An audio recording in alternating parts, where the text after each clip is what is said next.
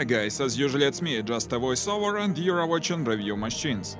Today we'll punch into the exciting world of military vehicles of the past. We'll meet the rarest and most interesting machines of the Second World War period. By the way, the second part of the video of this topic. The first one was published on our channel about two years ago, and it turned out to be quite popular among our audience. So we today are very excited to continue the theme. Well, it's high time to begin, so get comfortable my friends, we are to start right now.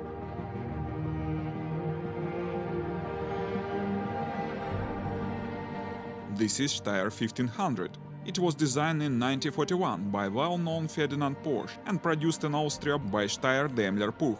There are many modifications, but this one is a commander's vehicle with carrying capacity 1.5 tons. One of the main features of the machine, the air-cooling 8-cylinders engine, 3.5 liters capacity and 86 HP. This engine is designed for use in any climate, from desert to snow. The maximum speed is 90 km per hour. This Steyr is all-wheel drive vehicle. The front drive is part-time. Then it has an independent front suspension and the axle and leaf springs at the rear. When we are looking at this Steyr, we can notice that the manufacturer is very particular about every detail. There are all the necessary tools on the body, and it's interesting that all of them are mounted so thoroughly, not to dangle and tremble while moving. And this is a tone signal. Quite curious solution, isn't it?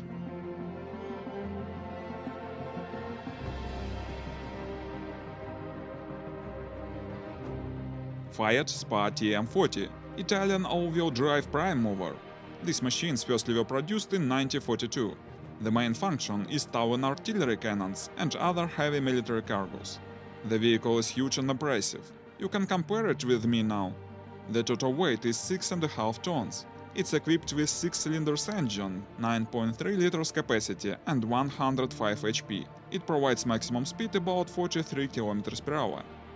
Certainly it has 4-wheel drive, and the wheels are really huge. They are extremely effective on off-roading, cause they have huge diameter, but they are not very wide and can slice soil to the firm ground. And due to the power bumper, this vehicle is able to cut its way right through the various obstacles. Quite a curious solution. The both axles of the vehicle front and rear are turnable. Such a solution provides the perfect maneuverability that is especially important for combats in mountains. To reduce the dimensions of the car, the engine is installed right in the middle of the body, and as we see it takes a lot of inner space. So it's quite enough room for the rear passengers, but the driver space is tight. Also I'd like to say that totally was produced only about 300 units, and nowadays this vehicle is so rare.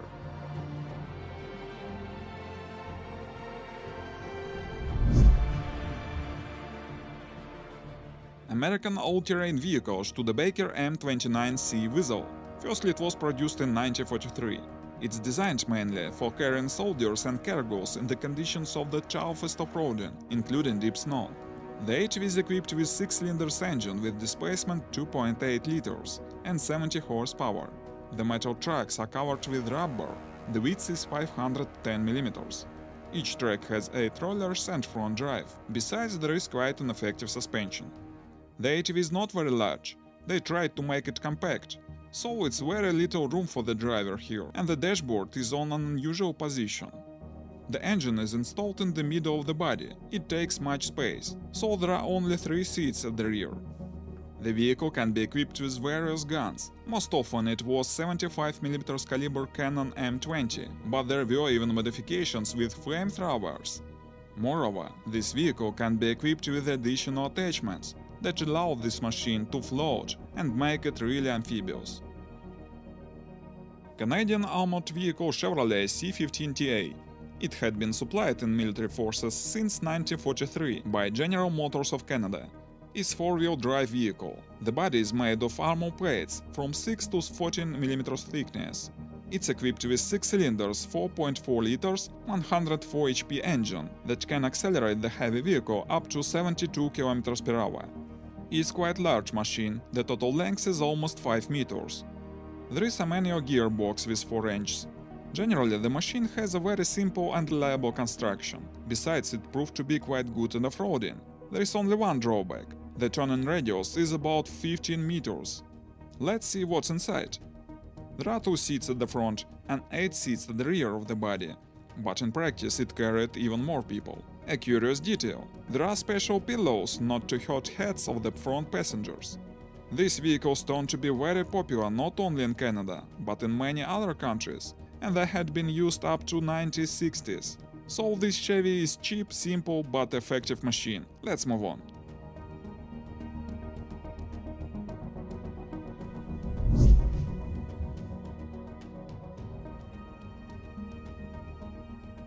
Another one unique American machine of the Second World War period. It's the rarest aerodrome prime mover Cletrac M2 high-speed tractor. It was produced in 1940 by Cleveland Tractor Company, USA. Initially it was designed as military all-purpose tractor, but in fact they were used at aerodromes to tow and maintain military aircrafts. The vehicle is equipped with 6-cylinders engine Hercules 115 HP and the maximum speed is 35 km per hour. That is decent for such a machine.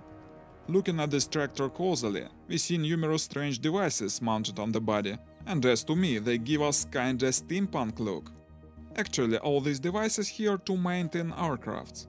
There is a powerful generator 110 volts, the high pressure pump, the balance with nitrogen, huge winch and other gears. An aerodrome screws even called this vehicle a nurse for bombers. These tractors successfully met all the demands for aircraft maintenance, so they were used in America for a long time, even up to Korean War period.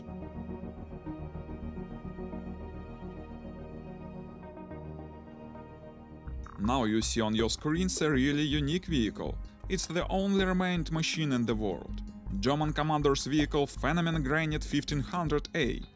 It was designed in 1940 by Phänomen Company, and there were two models, rear and all-wheel drive like this machine. Besides there were some other variants of this car, but the Commander's modification is the rarest. It's equipped with air cooling 4-cylinders engine, 2.7 liters capacity, 15 HP power, that provides maximum speed about 100 km per hour.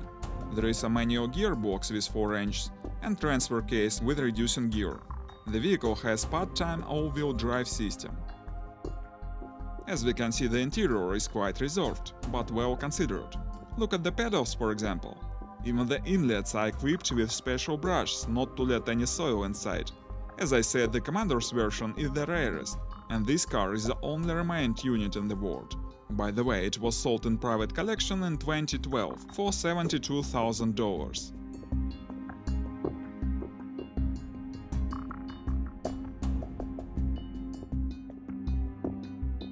This time let's meet a British military vehicle.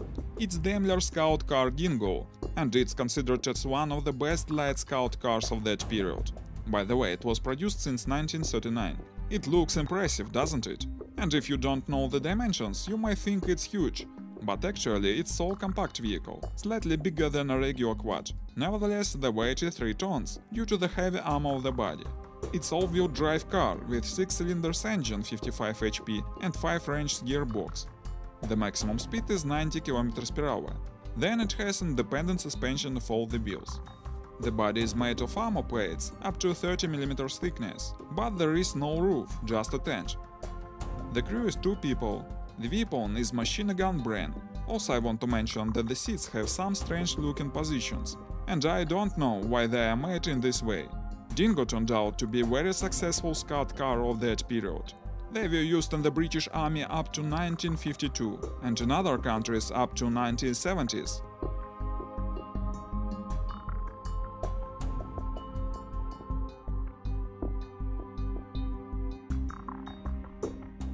Dodge WC-156. It's well-known truck.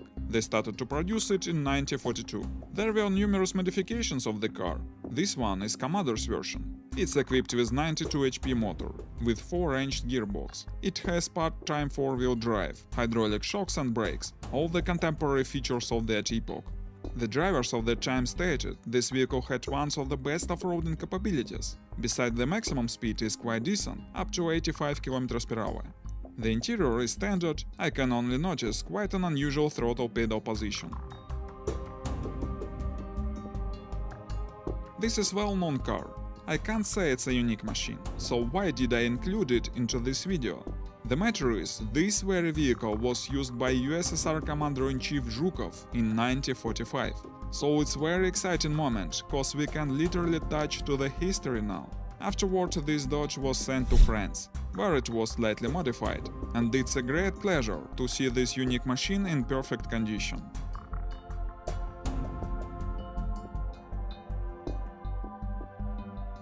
Well guys, let's call it a day. Please leave your comments if you want me to continue this topic on this channel. Thanks for watching my friends. Take care of yourself and stay healthy. Goodbye.